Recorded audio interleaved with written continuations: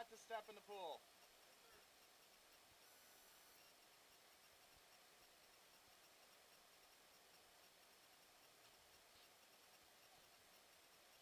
For a yoga master, you got scared. You're scared of balance.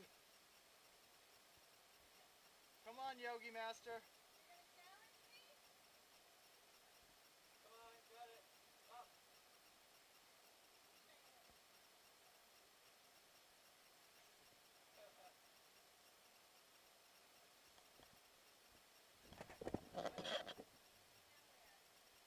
Don't step in the pool. Just step across. There you go.